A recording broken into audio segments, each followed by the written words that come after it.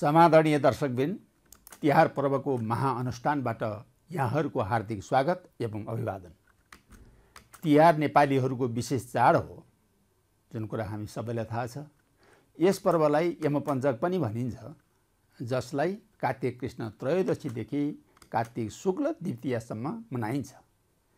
यति बेला पशु पक्षी तथा पहाड पर्वतदेखि मानिससम्मको पूजा हुन्छ। खास गरी यो पर्व कृषि प्रविधिसित नजिक देखिन्छ बढी मात्रामा। मानव जीवन हावापानी माटो रुख बिरुवा वनस्पति पशु पक्षी कीट पतङ्ग तथा मानिस आदिको समन्वयात्मक प्रस्तुति हो। तिहार पर्वले जीवनका तिनै मूल स्रोतप्रति इमान्दार गराउन खोजेको छ। आज हामी यसैलाई केलाउने प्रयास गर्दैछौँ।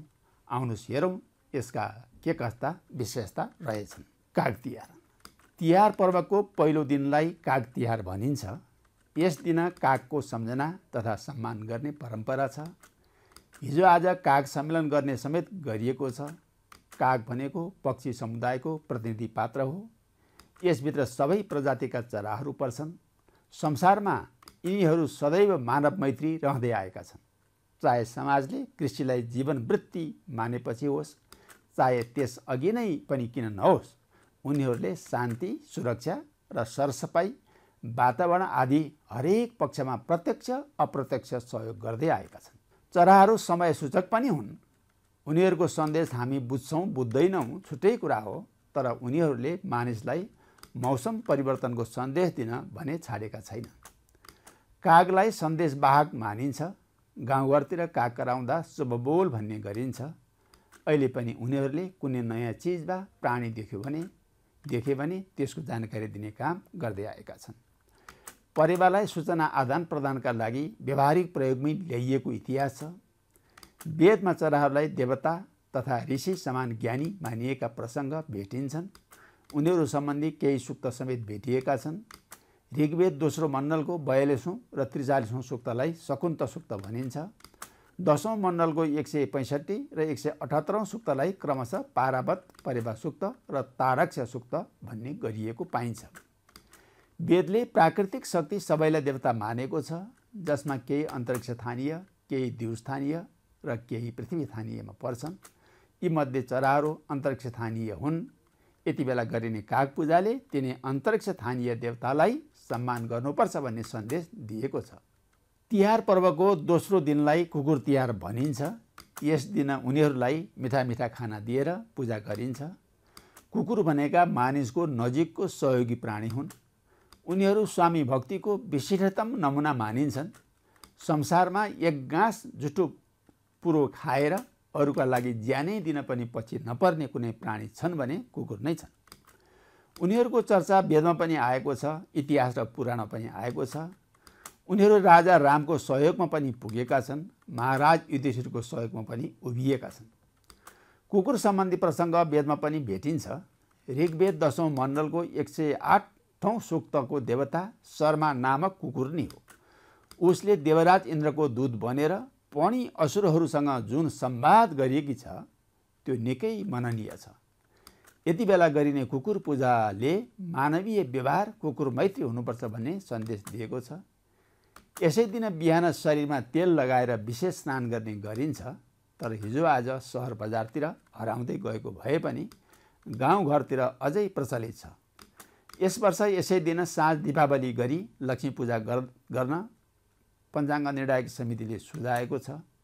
दीपावली गरी लक्ष्मी पूजा गर्नु भनेको माता लक्ष्मीलाई मनपर्ने व्यवहार गर्नु हो। यो भनेको आपसी सद्भाव सरसफाइ सहयोग र उज्यालो नै हो। उज्यालोको अर्थ घर आँगन मात्र होइन मन पनि हो। यति बेला गरिने कृत्यले यही सन्देश दिएको छ। तिहार पर्वको तेस्रो दिनलाई गाई तिहार भनिन्छ। यस दिन गाईको पूजा गरी उनीहरूप्रति सम्मान देखाउने गरिन्छ। समाजमा गाईको थान धार्मिक र सामाजिक दृष्टिले मात्र नभई आध्यात्मिक र वैज्ञानिक दृष्टिले पनि महत्त्वपूर्ण मानिन्छ।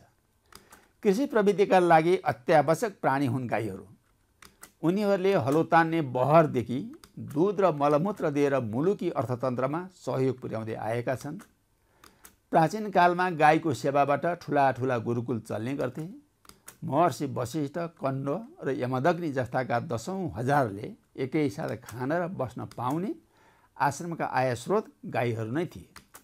अहिले पनि गाईको सेवा गरेर जीविका चलाउनेहरू धेरै छन्। यस दिन गरिने गाईको पूजाको उद्देश्य पनि पक्कै उनीहरूको सेवा र संरक्षणमा ध्यान दिनुपर्छ भन्ने नै हो। गोरु तिहार तथा गोवर्धन पूजा। तिहार पर्वको चौथो दिनलाई गोरु तिहार भनिन्छ। यस दिन गोरु र गोवर्धन पर्वतको पूजा गरिन्छ। यसलाई कृषि युगसित जोडेर हेर्न सकिन्छ। मानिसले प्रागैतिहासिक कालदेखि नै कृषिलाई जीविकाको माध्यम बनाउँदै आएका हुन्। कृषिका लागि गाई पनि चाहिन्छ गोरु पनि चाहिन्छ। रुख बिरुवा वनस्पति वा वन जङ्गल पनि चाहिन्छ। वेदमा गाई गोरु कृषि तथा वनस्पति सम्बन्धित दर्जनौँ सुक्त छन् जसले उनीहरूलाई देवता मानेर सम्मान गरेका छन्। अथर्व वेदको तेस्रो काण्डको चौधौँ सुक्तलाई गोष्ठ सुक्त भनिन्छ सत्रौँ सुक्तलाई कृषि सुक्त भनिन्छ र अठारौँ सुक्तलाई वनस्पति सुक्त तथा चौधौँ काण्डको एघारौँ सुक्तलाई वृषभ सुक्त भनिएको छ। त्यस्तै एक्काइसौँ सुक्तलाई गो सुक्त र सातौँ काण्डको साठौँ अन्न सुक्त भनिएको छ। यसबाहेक वेदले पहाड पर्वतलाई समेत देवता मानेको छ। ऋग्वेद तृतीय मण्डलको त्रि त्रिपन्नौँ सुक्त यसैको उदाहरण हो। त्यस्तै दसौँ मण्डलको एक सय छयालिसौँ सुक्तलाई अरण्य सुक्त भनिन्छ। यस सुक्तले जङ्गल तथा वनस्पतिलाई पनि देवता मानेको छ। त्यसैले गाई गोरु तथा गोवर्धन पर्वतको पूजा गर्नु भनेको मानिसको व्यवहार उनीहरू मैत्री हुनुपर्छ भन्ने हो। यसै दिन नेवारी परम्परामा मह पूजा गर्ने प्रचलन छ। मह पूजा भनेको आफूले आफैलाई गर्ने पूजा हो। खोज्दै जाँदा यसको समेत वैदिक आधार फेला पर्छ। अथर्व वेदमा दर्जनौँ यस्ता सुक्त छन् जसको अर्थ मूलत आत्मज्ञान आत्मसम्मान वा आत्मपूजासितै सम्बन्धित छन्। तिहार पर्वको पाँचौँ दिनलाई भाइटिका वा भाइ तिहार भनिन्छ। यस दिन यमराज यमुना तथा दाजुभाइ र दिदीबहिनीको पूजा गर्ने गरिन्छ। यस क्रममा पहिले दिदी बहिनीले यमराज र यमुनाको पूजा गरी दाजुभाइको दीर्घजीवनको कामना गर्दै पूजा गर्छन् भने दाजुभाइले पनि दिदीबहिनीलाई पूजा गरी यथोचित उपहार दिएर प्रेम र सद्भाव प्रकट गर्ने गर्छन्। ऋग्वेद दशौँ मण्डलको चौधौँ सुक्तलाई यमसुक्त भनिन्छ। यस सुक्तका सुक्तका देवता यमराज हुन्। यस सुक्तमा कुल छैसठी मन्त्र छन्। यी मन्त्रहरूले यमराजलाई काल अर्थात् समयका मालिक भन्दै सबैले एक दिन उनको ढोकामा जानै पर्छ भनेका छन्। तर सुक्तको चौधौँ मन्त्रका अनुसार भने यमराजलाई खुसी पार्न सके अर्थात् समयलाई सदुपयोग गर्न सके उनको ढोकामा जानुपर्ने समय केही पर धकेल्न सक्ने देखिन्छ। त्यस्तै यसै मण्डलको एक सय चौन्नौ सुक्त उनकै बहिनी यमुनासित सम्बन्धित छ। यस सुक्तका मन्त्रहरूमा यमुनाले यमपासमा बाँधिएका जीवलाई कसरी मुक्त गराउन सकिन्छ भन्ने चिन्तन गरेकी छिन्। यति बेला गरिने यमराज र यमुनाको पूजा प्रकरणभित्र पनि यही आशय अनुभूत गर्न सकिन्छ। आदरणीय दर्शकबिन यमपञ्चक अर्थात् तिहार पर्वमा सम्पन्न गरिने मोटामोटी कृत्य यिनै हुन्। यिनै प्रसङ्गका साथै आजलाई बिदा चाहन्छु। हस्त बिदा दिनुहोस्। नमस्कार।